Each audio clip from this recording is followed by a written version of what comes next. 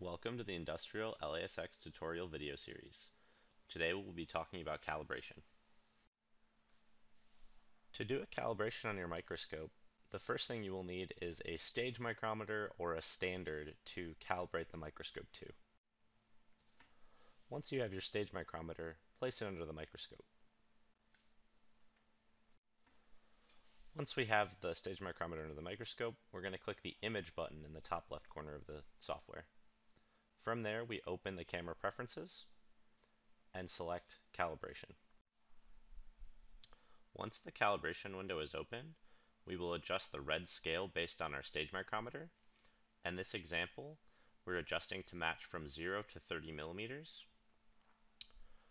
Once we've set our scale correctly, reminder we can use the scale bar to digitally zoom around our cursor. We will type in the length measured into the physical length box and hit apply.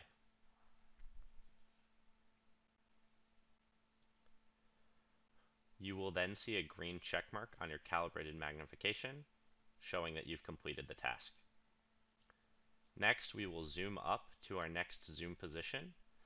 Once there, we will repeat the same steps, adjusting the red scale to our stage micrometer and typing our measure value into the physical length box. We will continue repeating these steps for each zoom level or magnification in the calibration wizard.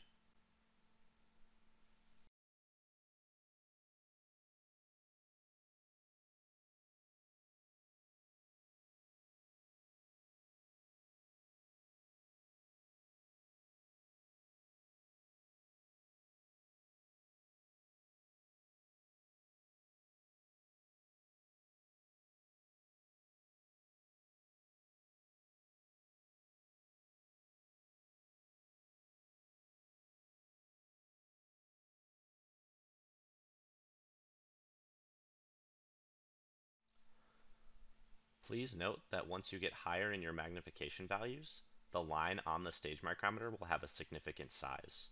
Always measure to the same side of the line. As you can see here, I am measuring from the left of the first line to the left of the second line.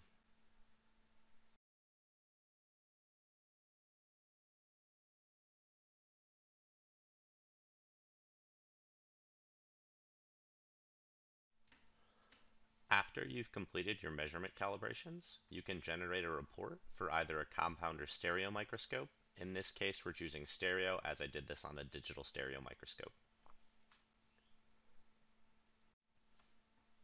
Once your report opens, you can add additional information such as the microscope that you calibrated as well as serial numbers or identification numbers for your stage micrometer. You are then able to save this to your desktop or wherever you keep your records.